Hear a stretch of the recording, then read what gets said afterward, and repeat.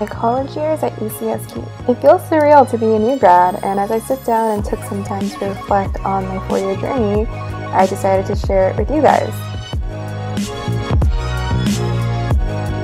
The past four years have definitely been more than just a stroll in the park.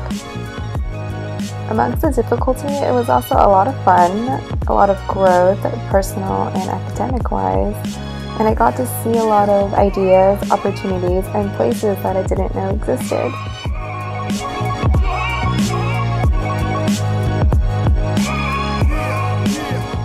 College was a first for me in many aspects, whether it be first Deltopia, first time having a dorm and living independently, exploring different countries, So cheers. Let's take a walk down memory lane. My first stop off campus in IV has to be Freebirds, which I recommend every person who visits UCSB to try, whether it's for lunch or after a night out.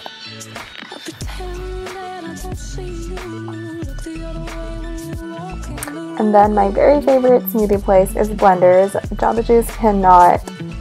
Also, they give free supplements.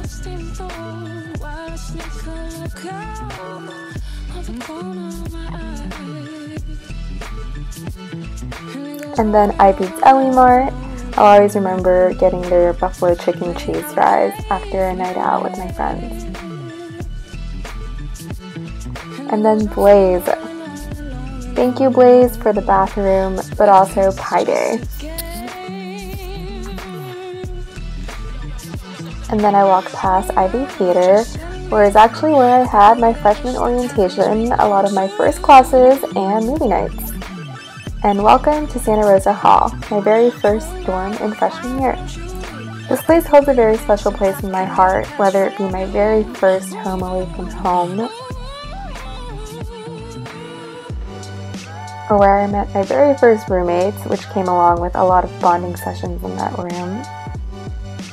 And then it became a place where we would meet up with all of our friends that year.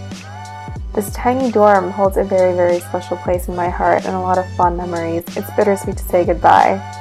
Next off is DLG, and over there is where I would leave Santa Rosa to walk over to the dining commons. The dining commons will always remind me of a place where I could bond with my friends and sometimes cop some food back to the dorm. Next off is Campbell Hall, which also holds a lot of memories, whether it's those large freshman classes or my very first and second VCN. And next stop is San Rafael Hall, my second year home. Love the upgrade of the room, but this year was also one of my toughest years ever. It's crazy to look from the outside now that I am way beyond my years at that time, and I thank all my friends that year. And now I take you to our University Center, which by day looks like a campus store and food court, but at night it held some of my favorite concerts, including Khalid and Robotaki. And here's Storke Tower, just because I love looking at it. Guess where we're going next?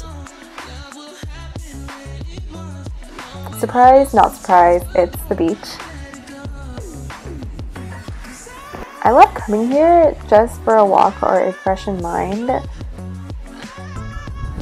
Something about just pondering here and being in this moment, whether it's day or nighttime, brings me at ease.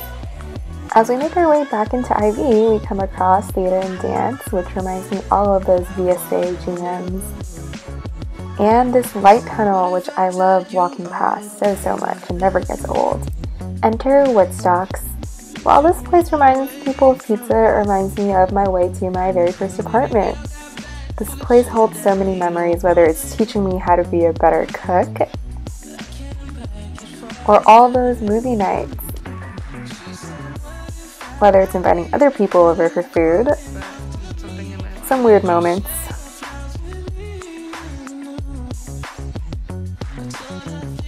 Wine and movie nights.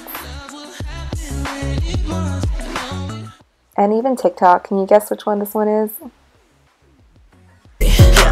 Sassy, moody, hey, nasty, hey, yeah. Acting stupid, what was happening? What was happening? I'm a savage, yeah. Yeah, I'm not really a dancer. As we continued down the road, COVID inevitably happened, which affected everyone's lives. And while we tried to make the most out of it in shelter in place, it would be a lie if I said that I wasn't affected, especially as a graduating senior.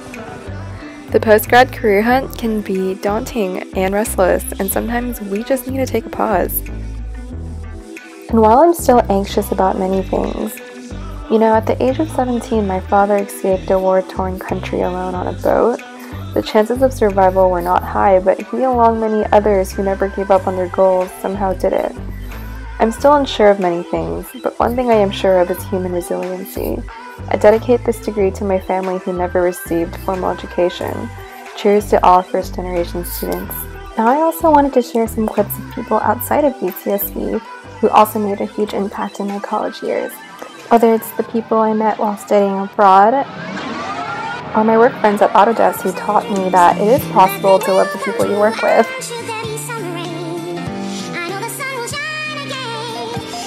Gosh, I miss Zoom meetings.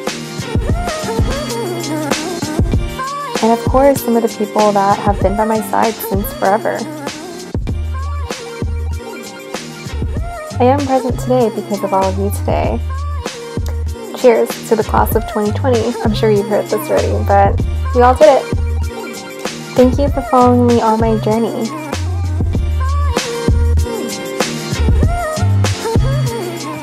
To everyone I crossed paths with, thank you. And to all seniors who may need to hear this, this is my favorite quote.